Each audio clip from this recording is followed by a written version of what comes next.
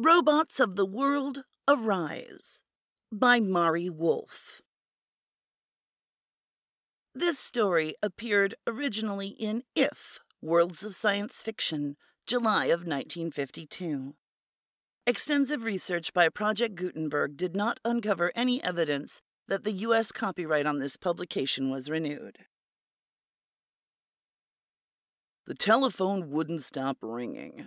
Over and over it buzzed into my sleep fogged brain, and I couldn't shut it out. Finally, in self defense, I woke up, my hand groping for the receiver. Hello? Who is it? It's me, Don, Jack Anderson, over at the factory. Can you come down right away? His voice was breathless, as if he'd been running hard. What's the matter now? Why, I wondered, couldn't the plant get along one morning without me? Seven o'clock? What a time to get up, especially when I hadn't been to bed until four. We got grief, Jack moaned. None of the robots showed up, that's what. 300 androids on special assembly this week, and not one of them here. By then I was awake all right. With a government contract due on Saturday, we needed a full shift. The Army wouldn't wait for its uranium. It wouldn't take excuses. But if something had happened to the androids. Have you called control yet? Yeah, but they don't know what's happened. They don't know where the androids are. Nobody does. 300 grade A lead shielded pile workers missing. I'll be right down. I hung up on Jack and looked around for my clothes. Funny, they weren't laid out on the bed as usual. It wasn't a bit like Rob O to be careless, either. He had always been an ideal valet, the best household model I'd ever owned. Rob, I called, but he didn't answer. By rummaging through the closet, I found a clean shirt and a pair of pants. I had to give up on the socks. Apparently, they were tucked away in the back of some drawer. As for where Rob kept the rest of my clothes, I'd never bothered to ask. He had his own housekeeping system and had always worked very well without human interference. That's the best thing about these new household robots, I thought. They're efficient, hardworking, trustworthy. Trustworthy? Rob O was certainly not on duty. I pulled a shoe on over my bare foot and scowled. Rob was gone, and the androids at the factory were gone too. My head was pounding so I took the time out to brew a pot of coffee while I finished dressing. At least the coffee can was in plain view in the kitchen. The brew was black and hot, and I suppose not very well made, but after two cups I felt better. The throb in my head settled down into a dull ache, and I felt a little more capable of thinking. Though I didn't have any bright ideas on what had happened. Not yet. My breakfast drunk, I went up on the roof and opened the garage doors. The copter was waiting for me, sleek and new, the latest model. I climbed in and took off, heading west toward the factory, ten minutes flight time away. It was a small plant, but it was all mine.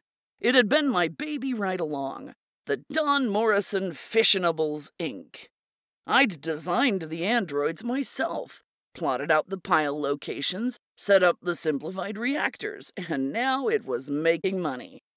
For men to work in a uranium plant, you need yards of shielding, triple checking, long cooling off periods for some of the hotter products. But with lead bodied radio remote controlled androids, it's easier. And with androids like the new Morrison 5s that can reason, at least along atomic lines, well, I guess I was on my way to becoming a millionaire. But this morning the plant was shut down. Jack and a half dozen other men, my human foremen and supervisors, were huddled in a worried bunch that broke up as soon as they saw me. I'm sure glad you're here, Don, Jack said. Find out anything? Yeah, plenty. Our androids are busy, all right. They're out in the city, every one of them. We've had a dozen police reports already. Police reports? What's wrong? Jack shook his head. It's crazy. They're swarming all over Karen City. They're stopping robots in the street, household robs, commercial droids, all of them. They just look at them, and then the others quit work and start off with them. The police sent for us to come and get ours. Why don't the police do something about it? Ha! barked a voice behind us. I swung around to face Chief of Police Dalton of Karen City. He came straight toward me, his purplish jowls quivering with rage, and his finger jabbed the air in front of my face. You built them, Don Morrison, he said. You stop them. I can't. Have you ever tried to shoot a robot or use tear gas on one? What can I do? I can't blow up the whole town. Somewhere in my stomach, I felt a cold, hard knot. Take stainless steel alloyed with titanium and plate it with three inches of lead. Take a brain made up of supercharged magnetic crystals enclosed in a leaden cranium and shielded by alloy steel.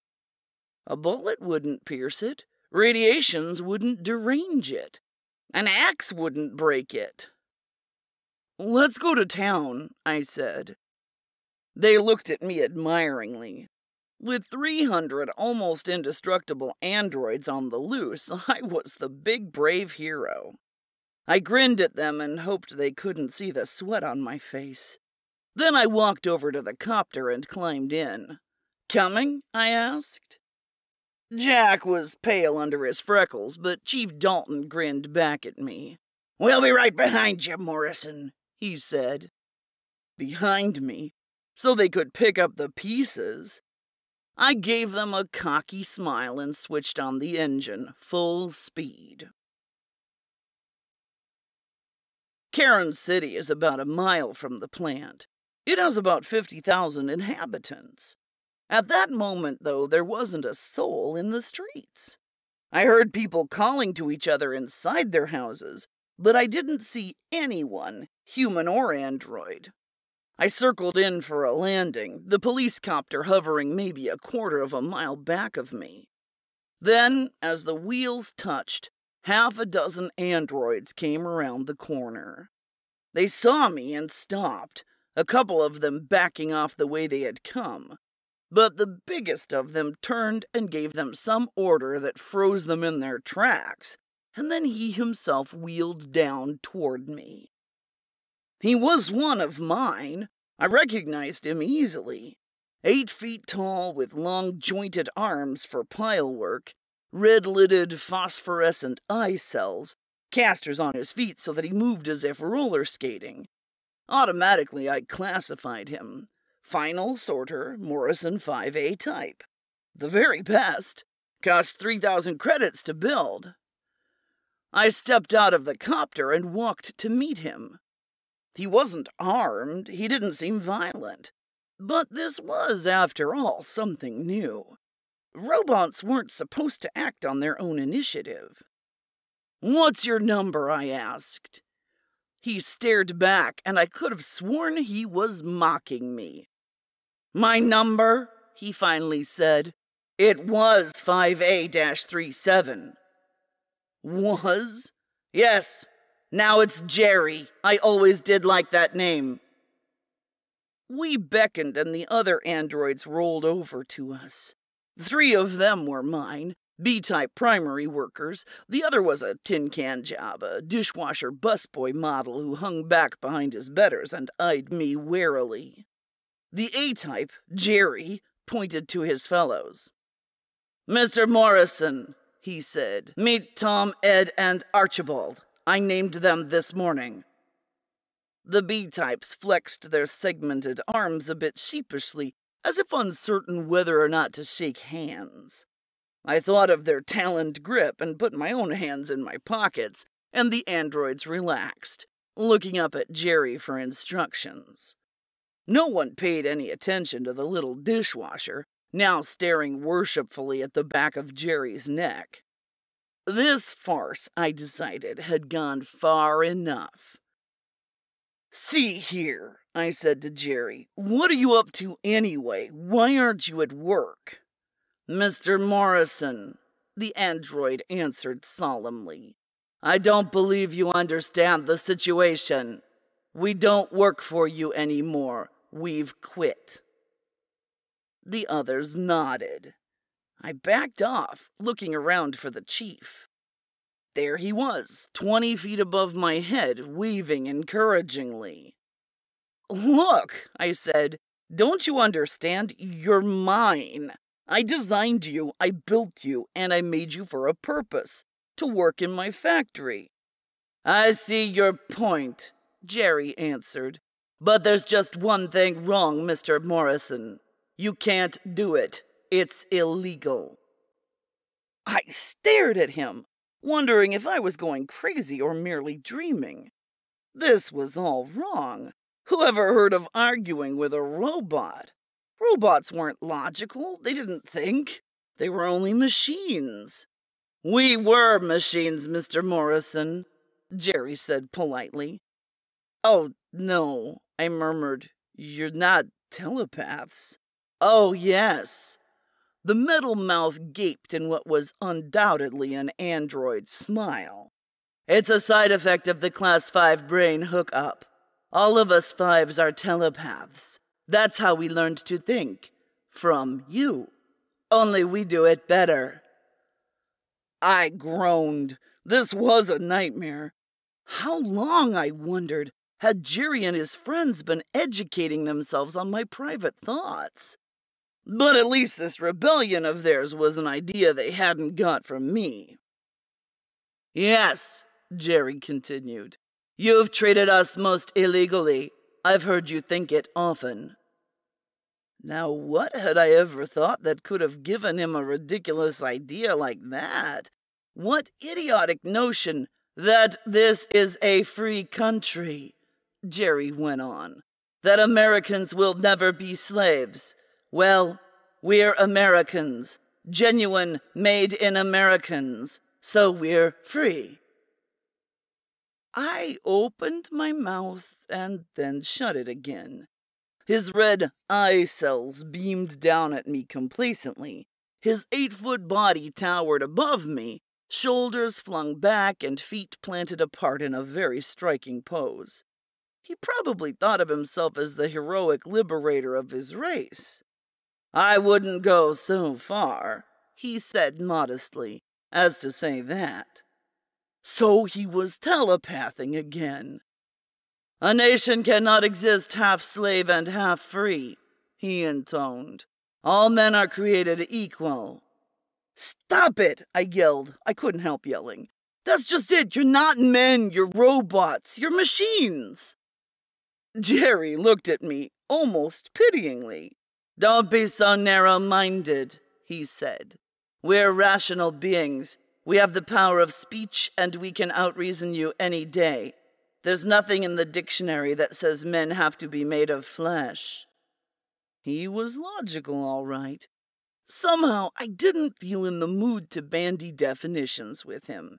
And anyway, I doubt that it would have done me any good. He stood gazing down at me, almost a ton of metal and wiring and electrical energy, his dull red eyes unwinking against his lead gray face. A man? Slowly, the consequences of this rebellion took form in my mind. This wasn't in the books. There were no rules on how to deal with mind reading robots. Another dozen or so androids wheeled around the corner, glanced over at us, and went on. Only about half of them were Morrison models. The rest were the assorted types you see around the city calculators, street sweepers, factory workers, children's nurses. The city itself was very silent now. The people had quieted down, still barricaded in their houses, and the robots went their way peacefully enough. But it was anarchy nonetheless. Karen City depended on the androids. Without them, there would be no food brought in, no transportation, no fuel, and no uranium for the army next Saturday. In fact, if I didn't do something, after Saturday there would probably be no Don Morrison Fissionables, Inc. The dull, partly corroded dishwasher model sidled up beside Jerry. Boss, he said, boss. Yes? I felt better, Maybe here was someone, however insignificant, who would listen to reason. But he wasn't talking to me. Boss, he said again, tapping Jerry's arm. Do you mean it? We're free? We don't have to work anymore? Jerry shook off the other's hand a bit disdainfully. We're free, all right, he said. If they want to discuss wages and contracts and working conditions like other men have, we'll consider it, but they can't order us around any more. The little robot stepped back, clapping his hands together with a tinny bang. I'll never work again, he cried. I'll get me a quart of lubricating oil and have myself a time. This is wonderful. He ran off down the street, clanking heavily at every step. Jerry sniffed. Liquor. Ugh. This was too much. I wasn't going to be patronized by any android. Infuriating creatures. It was useless talking to them anyway.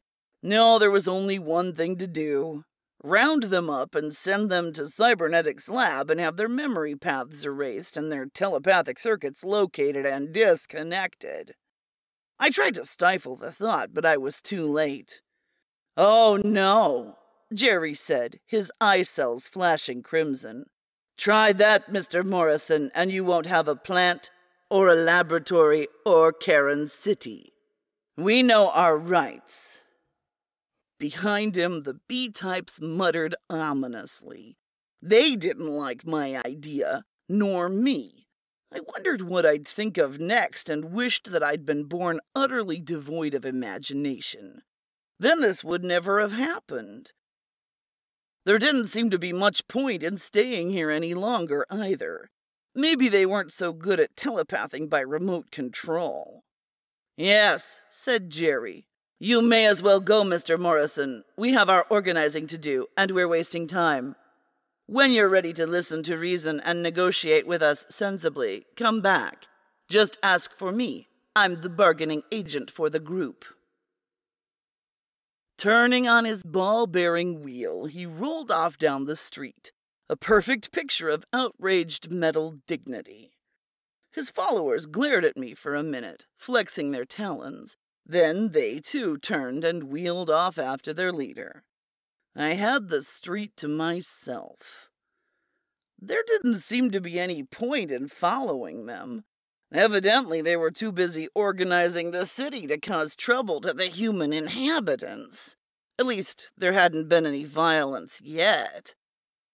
Anyway, I wanted to think the situation over before matching wits with them again and I wanted to be a good distance away from their telepathic hookups while I thought. Slowly, I walked back to the copter. Something whooshed past my head. Instinctively, I ducked, reaching for a gun I didn't have. Then I heard Jack calling down at me. The chief wants to know what's the matter.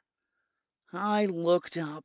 The police copter was going into another turn, ready to swoop past me again. Chief Dalton wasn't taking any chances. Even now, he wasn't landing.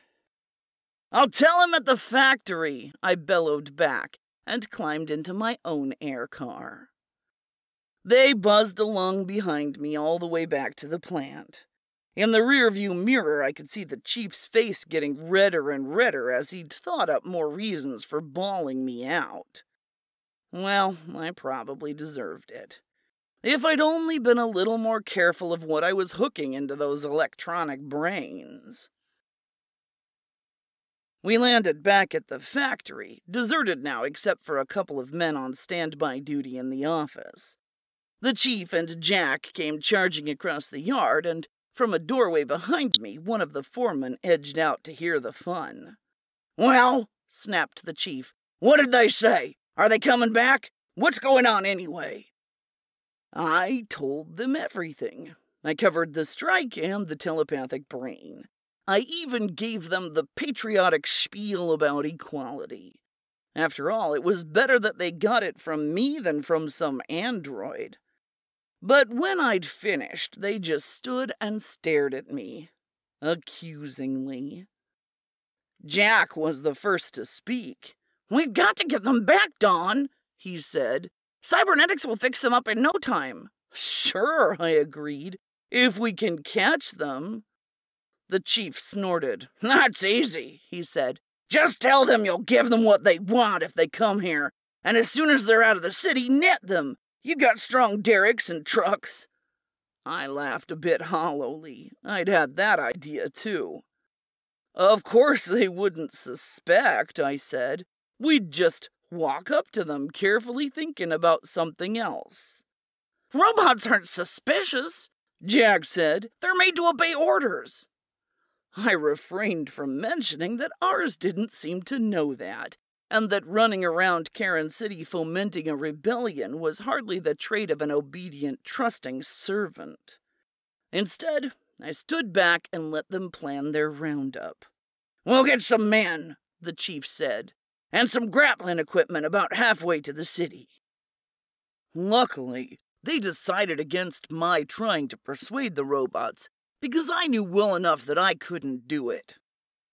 Jack's idea sounded pretty good, though. He suggested that we send some spokesmen who didn't know what we planned to do and thus couldn't alarm them. Some ordinary man without too much imagination. That was easy. We picked one of Chief Dalton's sergeants. It took only about an hour to prepare the plan. Jack got out the derricks and chains and grapplers, and the heaviest steel bodied trucks we had. I called cybernetics and told them to put extra restraints in the conditioning lab. The chief briefed his sergeant and the men who were to operate the trucks. Then we all took off for Karen City, the sergeant flying on ahead, me right behind him, and the chief bringing up the rear. I hovered over the outskirts of the city and watched the police copter land. The sergeant climbed out, walked down the street toward a large group of waiting robots, about twenty of them this time. He held up his hand to get their attention, gestured toward the factory. And then, quite calmly and without saying a word, the androids rolled into a circle around him and closed in. The sergeant stopped, backed up just as a 5A type arm lashed out, picked him up, and slung him carelessly over a metallic shoulder. Ignoring the squirming man, the 5A gestured toward the copter, and the other robots swarmed over to it. With a flurry of steel arms and legs, they kicked at the car body, wrenched at the propeller blades, ripped out the upholstery, and I heard the sound of metal tearing. I dived my copter down at them. I didn't know what I could do, but I couldn't leave the poor sergeant to be dismembered along with his car. I must have been shouting, for as I swooped in, the tall robot shifted the man to his other shoulder and hailed me. Take him, Mr. Morrison, he called. I know this wasn't his idea, or yours. I landed and walked over, the android, who looked like Jerry, though I couldn't be sure, dropped his kicking, clawing burden at my feet. He didn't seem angry, only determined. Now you people will know we mean business, he said, gesturing toward the heap of metal and plastic that had once been the pride of the Karen City police force. Then he signaled to the others, and they all wheeled off up the street. Whew, I muttered, mopping my face. The sergeant didn't say anything. He just looked up at me and then off at the retreating androids and then back at me again. I knew what he was thinking. They were my brain children, all right.